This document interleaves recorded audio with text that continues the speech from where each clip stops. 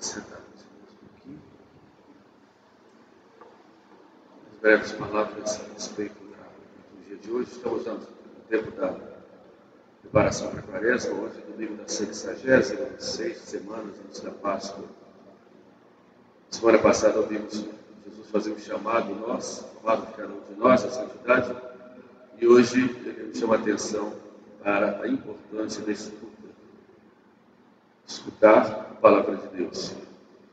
O. João Crisóstomo, comentando esta parábola que acabamos de ouvir, ele diz que o semeador vai a semear porque a palavra de Deus é para todos os povos.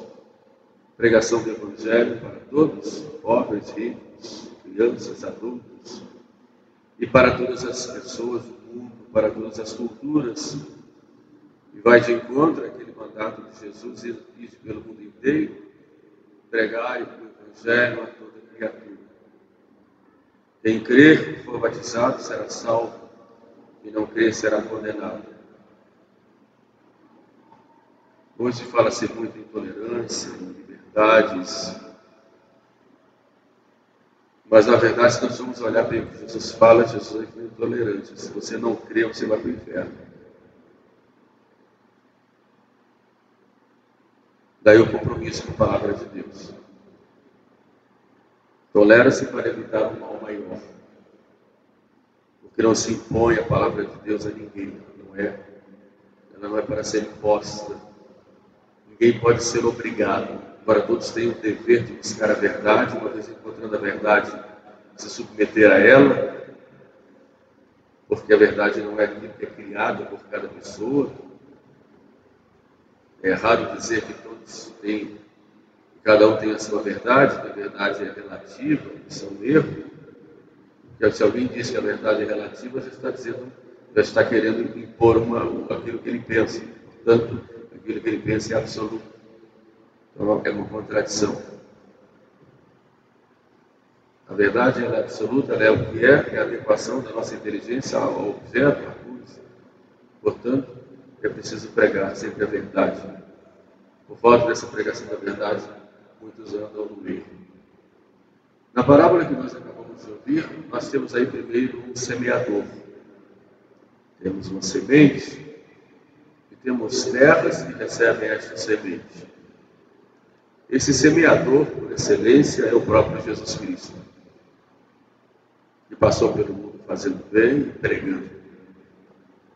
Foi significativo, a, a, foi, foram significativas as diversas vezes que ele olhava para o povo e contemplava e tinha pena, misericórdia, porque estavam como ovelhas sem pastor. E a partir desse momento, ele diz lá os evangelhos, ele então pregava, ele ensinava. De modo que a primeira característica de uma ovelha que não tem pastor é aquela ovelha que não ouve a pregação do evangelho, que não ouve a verdade, que não tem esse alimento. Daí a responsabilidade dos pastores pregarem. Como disse o primeiro é Jesus, depois os apóstolos, a igreja, cada um de nós. E pregar primeiro para ensinar a verdade, e a verdade se centraliza na pessoa de Jesus Cristo. Tudo vem para Ele, tudo é por Ele, para Ele, vai para Ele. Toda a história humana se centraliza nessa pessoa de Jesus Cristo, o Filho de Deus feito homem. Isso é para ser ensinado a todos os homens em todas as culturas, em todos os lugares do mundo. Começa com o encontro e depois vai com o ensino. Ide e ensinai. Ide et docete. Ide e ensinai. E nós temos essa obrigação como homens de igreja, ensinar a verdade. E quando se ensina a verdade, é claro que o erro aparece. Então, quando se ensina a verdade, condena-se o erro. Nós não condenamos pessoas, mas condenamos o erro e temos que condenar. A verdade, quando ela resplandece, o erro se mostra também. Então nós temos que condenar o erro. Essa é, essa é a missão da igreja. Existe no Antigo Testamento uma frase em latim que diz: Canes valentes, não valentes latrare. Os cães que não servem nem para latir quando chega o ladrão. E hoje nós, como pastores da igreja, temos que proteger as nossas ovelhas contra os erros, mas nós temos também que gritar contra os lobos que querem entrar e entram muitas vezes no rebanho para devorar as ovelhas. Essa é a missão da igreja, ensinar. E nós temos que aprender da igreja. Cristo prometeu à igreja que a igreja é santa e infalível nos seus ensinamentos como igreja.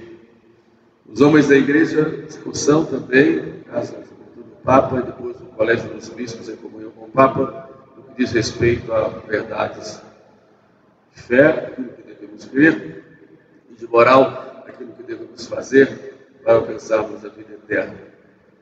Essa garantia nós temos, dada pelo próprio Cristo, quando diz que quem crê e for batizado será salvo, quem não crê será condenado. Portanto, ele não daria uma ordem, se por outro lado ele não garantisse que quem vai ensinar, vai ensinar a verdade. Infelizmente, na história da igreja, nós temos muitos casos de pessoas que não ensinaram a verdade, inclusive bispos.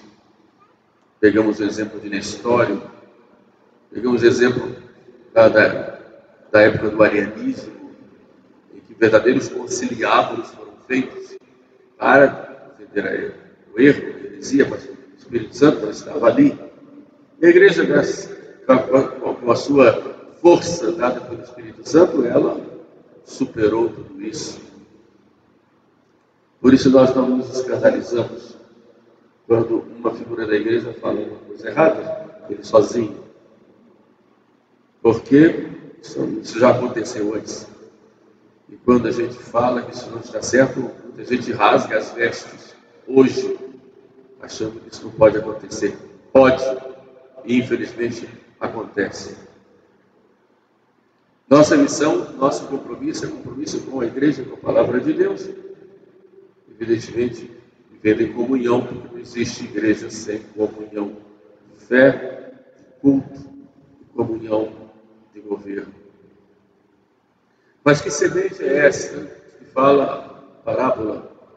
Essa semente é a palavra de Deus que devem ser pregadas sobre os telhados, como diz Jesus, ela por si só já ilumina, ela por si só já tem força, porque na, na verdade a palavra de Deus é o próprio Cristo, o Verbo que se fez homem.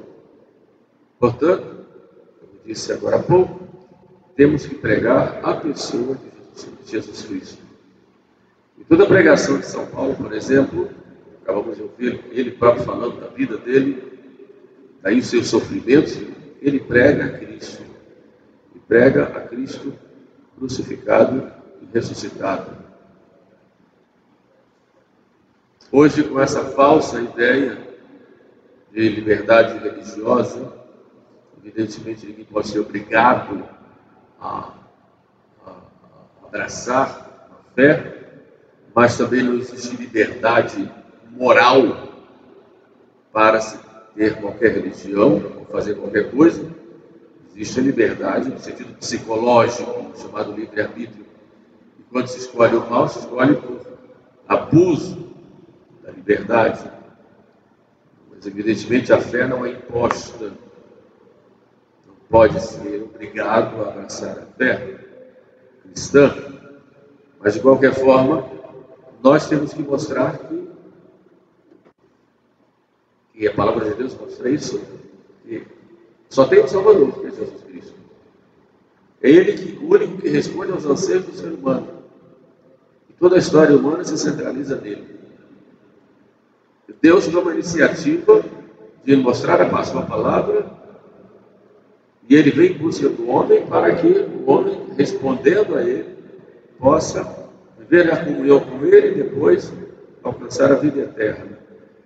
E ele foi se revelando no Antigo Testamento até a revelação do, com o próprio Filho, que é o Verbo, a palavra, o Verbo que se fez carne. Então não existe outro Salvador para o homem senão a pessoa de Jesus Cristo. Foi esse o tema da pregação dos apóstolos e esse é o tema da pregação da igreja até os dias de hoje e vai ser sempre. Por isso, todos que quiserem se salvar têm que abraçar Jesus Cristo e reconhecê-lo e submeter a Ele. Senão, não tem salvação. Daí a necessidade da pregação do Evangelho. Que se todas as religiões fossem boas, fossem caminhos para Deus, ou fossem modos de revelação de Deus, como hoje existem umas teses, que até dentro da igreja se propagam, que todas as religiões são, são, são meios de salvação, como tais, como tais, que Deus teria se revelado aos poucos em cada uma e juntando tudo daria a revelação mais próxima plena. Isso é um erro teológico gravíssimo, já condenado pela igreja. Só existe um Salvador que é Jesus Cristo, essa é a pregação. É claro, existem métodos, existe uma pedagogia até chegar lá, mostrar, mas tem que se mostrar que fora da igreja não há salvação. Pode até se salvar quem tiver boa fé, seguindo a lei natural, apesar da sua falsa religião. Mas ele, ele já vai ser membro da igreja é, em voto, ou seja, em desejo, às vezes até sem saber. Quem vai salvar é Jesus. Então não, não, não é correto dizer vamos fazer uma roda e brincar todo mundo numa roda. Todos somos felizes, alegres aqui na terra todo mundo, cada um na sua, e vamos gritar, bater palmas, e dançar e pular numa roda muito bonita, se todos, as, todos os caminhos levassem a Deus, e não vamos falar de Jesus. Jesus é apenas mais um da roda de Maomé, Confúcio, Brahma e outros tantos por aí, Buda e etc. Não. Não, não, não. Temos que ter esse cuidado. A palavra de Deus, ela é direta. Bem-aventurado que ouve a palavra de Deus e põe em prática. Quem vos ouve, me ouve. Quem vos despreza, me despreza. Ouve a igreja, ouve Jesus. Se despreza a igreja, despreza Jesus. Mas como é que nós vamos ouvir essa palavra? Aí Cristo coloca aí vários tipos de, de terras, ou corações, ou mentes que queiram para ouvir a palavra de Deus ver aquele ao longo caminho, se deixa levar pelas coisas do mundo, vivem apressadamente, não tem tempo para Jesus, ouvem a palavra de Deus aqui muito bem, e depois saem na rua, tanta coisa para fazer durante a semana, que não rezam, não procuram estudar o catecismo, vivem desarvorados, correndo para um lado e para o outro, sem um momento de reflexão, de silêncio, de oração, de meditação. Então, por favor, todos os dias, guarde um tempinho para nosso Senhor, para o silêncio, para a reflexão. A vida aqui na cidade é muito corrida. Muito corrida. As pessoas vivem desesperadas. E não tem tempo para nada, porque não fazem tempo para Deus. Vão dormir madrugada, acordam cansados e a roda continua e não tem tempo para Deus. Mas tem tempo para redes sociais. Tem tempo para isso. Conversas fúteis. Mas não tem tempo para fazer uma leitura espiritual. É claro que o diabo vai vir vai pegar a palavra, vai levar. Aqueles outros têm um coração como um coração de pedra. Ou seja, a palavra de Deus vem, mas são muito superficiais. Olha na religião aquilo que tem por fora, mas não se. Acham tudo muito bonito, cantam, gritam, batem palmas, mas uma religião sentimental, extremamente sentimental, extremamente superficial, não deita raízes. É algo assim muito fora, mas não se aprofunda. E quando vem uma tentação, começa a colocar questões, dúvidas, ou então até se esquecem daquilo que prometeram antes, e depois então cai. É preciso ter profundidade na fé e profundidade no amor de Deus.